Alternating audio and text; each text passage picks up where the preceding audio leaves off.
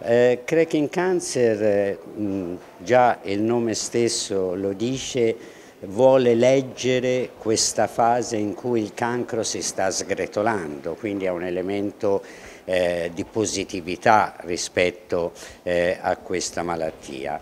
Ma è anche un evento che si caratterizza per tenere insieme temi a volte tra loro distanti, le nuove acquisizioni scientifiche e l'organizzazione dei servizi oncologici, la comunicazione e i problemi legati alla sostenibilità economica del percorso eh, oncologico. Cioè questa visione un po' olistica e eh, fatta da attori diversi caratterizza fortemente eh, Cracking Cancer perché partiamo dal presupposto che non si può affrontare un tema così ampio, con ricadute così importanti, se non tenendo insieme punti di vista diversi.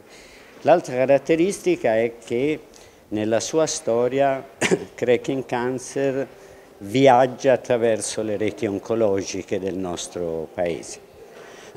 siamo partiti da Firenze, siamo andati a Napoli, a Torino, a Padova, a Palermo, ora siamo eh, a Genova in Liguria. Quindi questo elemento della rete oncologica è un altro elemento che caratterizza fortemente. E anche i due temi che abbiamo scelto per eh, l'evento di Genova eh, sono dentro questa eh, scia di affrontare il tema da punti di vista diversi. Un tema è il cambiamento epidemiologico, è cambiato tanto in oncologia, eh, si sono aumentati i soggetti guariti, quindi la curabilità del tumore è aumentata, c'è stato questo fenomeno incredibile della cronicizzazione della malattia eh, oncologica che è un fenomeno che deve essere eh, letto, per cui abbiamo un aumento enorme per fortuna di casi eh, prevalenti. Ecco, l'organizzazione deve tener conto di questo eh, cambiamento, parleremo anche di oncologia territoriale, parleremo anche di nuovi metodi per valutare la spesa in oncologia. E l'altro tema è quello della ricerca, letta da una visuale più particolare che è quella della ricerca di rete.